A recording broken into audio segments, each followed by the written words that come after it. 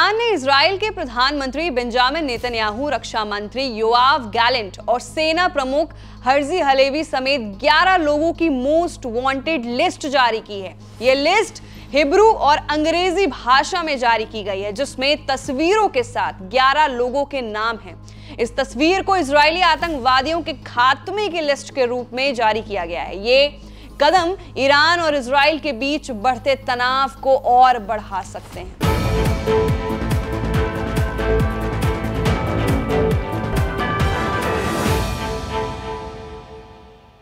बीते दिनों ईरान ने इसराइल पर लगभग 180 मिसाइलें दागी थी, जिनमें से कई मिसाइलें ईरान के ही क्षेत्रों में गिरी और कुछ इजरायली शहरों को हिट किया।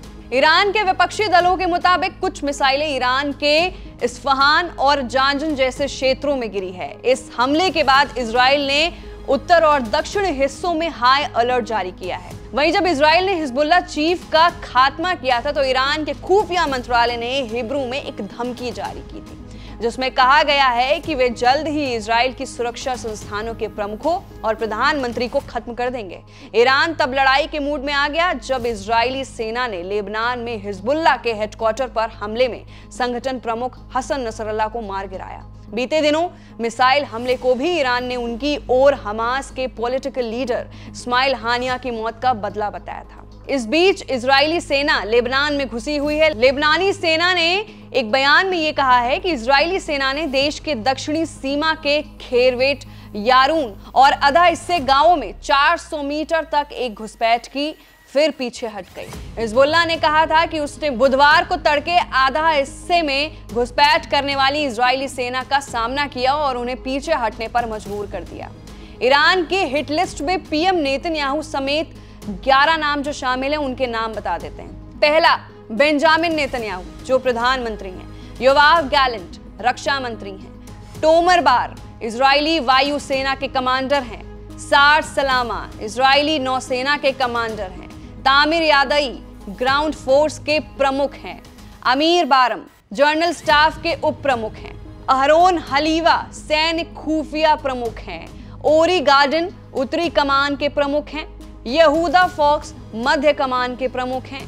एलिएजर टोलेडानो दक्षिणी कमान के प्रमुख हैं।